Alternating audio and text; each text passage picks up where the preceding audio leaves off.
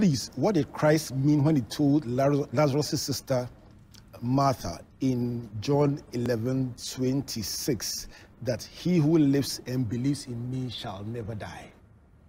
Well, Jesus talks about two things. Those who die in him shall live. Those who do not die will live. And, and the Bible bears witness uh, when Christ comes. It says, We who are the dead in Christ shall rise first.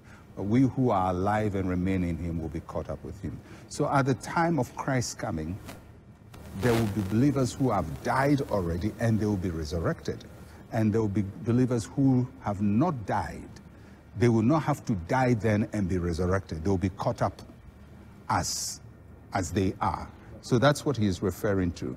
Those who die in him will be resurrected. Those who are alive in him when he comes will be caught up. They don't need to taste death before they are resurrected. Right.